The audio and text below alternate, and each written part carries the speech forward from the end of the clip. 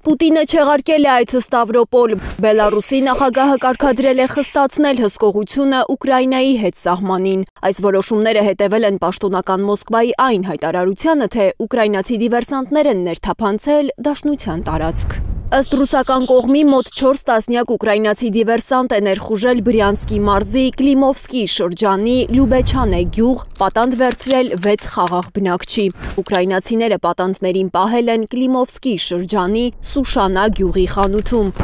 Նաև գնդակոծել են Լոմակովկա գյուղը։ В эти минуты продолжается очередной обстрел. Այս պահին շարունակվում է երետակոծությունը, մեր զինված ուժերը պատասխան կրակ են բացել, ըստ նախնական տեղեկությունների կան տուժածներ։ Есть пострадавшие. Երկու մարդ է զոհվել, երկու երեխա վիրավորվել, երբ ուկրայնացիները կրակել են ճանապարով անցնող մեքենայի վրա։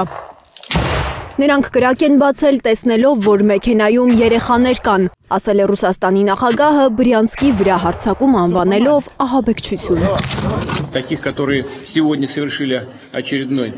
terroristический ակտ։ Նրանք, ովքեր այդ ահաբեկչությունն արել են, ուզում են ջնջել մեր պատմական հիշողությունը, պատմությունը, ավանդույթները։ Տեսել են, որ դա քաղաքացիական մեքենա է, սովորական Նիվա է, որտեղ երեխաներ կան, բայց միևնույնն է, կրակ են բացել նրանց ուղությամբ։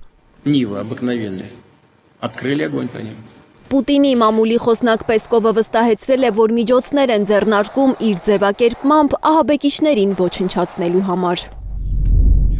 Շարունակում ենք հրավիրել միջազգային հանրության ուշադրությունն այն ահաբեկչությունների վրա, որ այդ մարդիկ անում են։ Ամեն ինչ արվում է մեր քաղաքացիների անվտանգությունը պաշտպանելու համար։ Քաղաքագետները կարծում են, որ այս մարտավարությամբ Կիևն ուզում է Ռուսաստանի ժողովրդին վախեցնել, ցույց տալ, որ ռազմադաշտն ամեն պահի կարող է մոտենալ Մոսկվային։ Կիևը ուզում է ցույց տալ Ռուսաստանի հասարակությանը, որ պատերազմը կարող է նաև ձեր մոտ լինել որ ոչ միայն մեր քաղաքները գնդակոծվեն կամ